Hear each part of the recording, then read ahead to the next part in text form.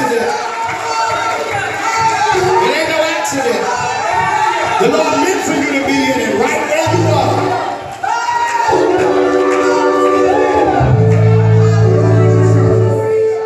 Yea, though I walk through the shadow of death, I shall fear no